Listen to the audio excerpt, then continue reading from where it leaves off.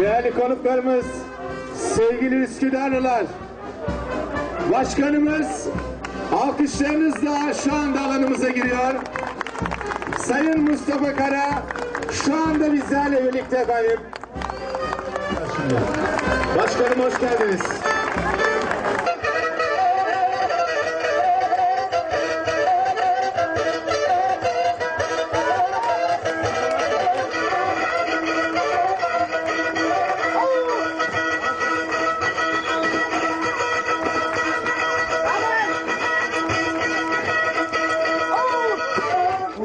Yıllardır bir şehir kadar yani yaklaşık 80-90 bin nüfusu olan bir Bulgurlu mahallemizden bahsediyoruz. Bu güzel mahallemizin maalesef 50 kişinin bir araya geleceği bir tane tesisimiz yoktu.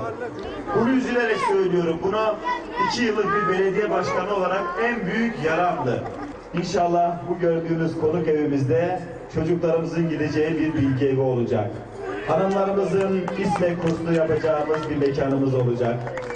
Ve işte burada esas en önemli kısım bizim bu belediye sosyal tesisi yazan yaklaşık 800 metrekare alana da kavuşacağımız, önünde geniş bir parkının olduğu güzel bir alana kavuşacağız inşallah.